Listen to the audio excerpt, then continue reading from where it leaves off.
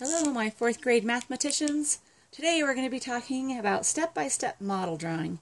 Now, model drawing is a way that you can draw a model to help you organize information in a word problem. When we organize our information with model drawing, it makes it really clear and simple to understand if we're supposed to add or subtract, multiply, or divide. The first step in model drawing is to read the entire problem. This problem says Jade has 128 baseball cards, Kyle has 153. If Jade and Kyle combine their baseball cards, how many cards will there be?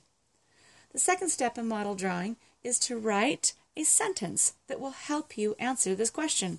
We're not looking for the answer, we're looking for a sentence that will help us determine what the answer would look like. So if the question is, how many cards will there be? Our sentence might be, they will have blank cards. There are many ways to write this sentence. You're welcome to write it any way you wish. The next step is to determine who and or what is involved in the problem. Well, there's Jade, he has some cards, and Kyle, he has some cards, and they want to put them together into one pile. Step four is to draw a unit bar. Now, a unit bar is a long, skinny rectangle that's going to represent the largest unit in our word problem. So if Jade has cards, Kyle has cards, they put them all together. This unit bar this time is going to represent the question, how many cards will there be altogether? The next unit bar that we draw is going to be the same exact size, because we're talking about the same unit, but we're going to divide it into chunks this time. We're going to organize our information. We know that Jade has some cards, and we know that Kyle has some cards. As we look at Jade and Kyle's cards in this chunk and this chunk together, they will equal the whole unit. The next step is to compute the problem. You're welcome to compute it any way you like. Today, I'm going to use expanded form.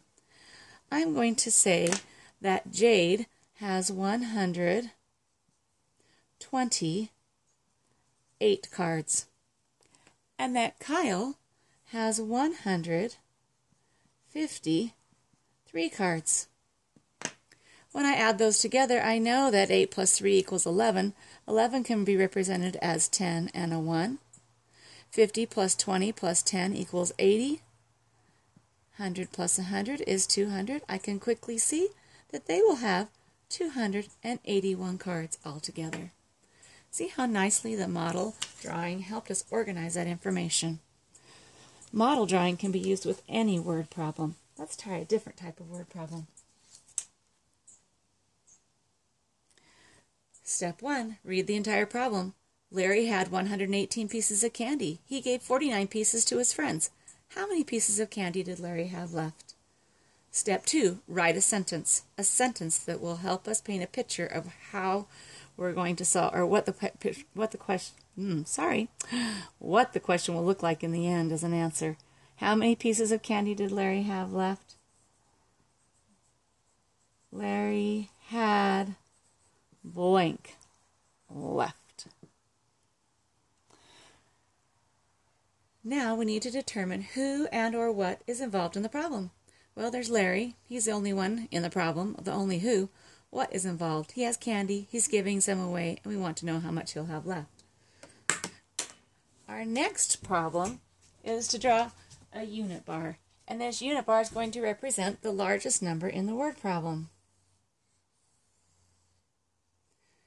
In this word problem, this will represent the 118 pieces that he started with, because that will be the largest unit. And that unit is shared between the pieces that he gave away and the pieces that he still has. Now that we've organized the information right here in our model drawing, we can easily say that, see that we need to subtract 118 from 49. Remember, you can compute it in any way you would like to. Today, I'm going to use a tree model. 8 subtract 9 is negative 1. 10 subtract I'm sorry, subtract 40 is negative 30. And 100 subtract nothing is 100. 100 take away 30 is 70, and 70 take a 1 shows us that Larry had 79 pieces of candy left when he shared. What a generous friend. Let's try one more type of problem with our model drawing and see if this truly can work with all kinds of word problems. Remember, first step, let's read the question. While digging through her clothes for ice cream money, Mary found seven nickels in her jacket pocket and three quarters in her pants pocket. How much money did Mary find? Step two, let's write that sentence. How much money did Mary find? Our sentence might look like this Mary found. I'm just going to leave it at that. You could write blank in her pockets or this much money. That'll do for now. The next step is to determine who and or what is involved in the problem. Well, remember, it's Mary. She has two pockets, and they have different kinds of money in them.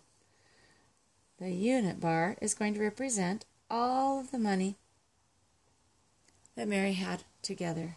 That's what we're trying to find out. Let's put a question mark right there. This unit is going to equal all of the money, but it's going to be in chunks. The first chunk is going to be the nickels. One, two, three, four, five, six, seven. And we know the nickels are how much? You got it. Five cents. We'll put fives in these seven chunks to represent the nickels. Next, we know that she found some quarters. Three quarters. And quarters are worth, you got it, 25 cents. Want to show you another thing you can always do with unit bars to make things a little more friendly. Because don't we love it when numbers are so much more friendly and easier to use. We can draw another unit bar. This unit bar is going to represent the same amount of money.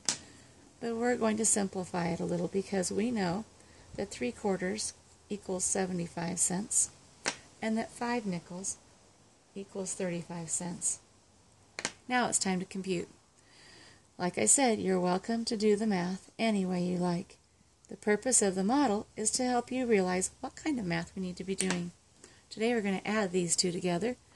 If I had 30 cents and 70 cents, that would equal 100 cents, and 100 cents equals $1. 5 cents and 5 cents equals 10 cents. You can quickly see that Mary found $1 and 10 cents in her pockets. I wonder if that's enough for the ice cream store. Remember as you do your homework tonight that I want you to use model drawing in all of the word problems. Step 1, read the entire problem. Step 2, write a sentence. Step 3, determine who and or what is involved in the problem. Step 4, draw the unit bar representing the largest number in this problem. Step 5, draw other unit bars to chunk and organize the information to match your needs.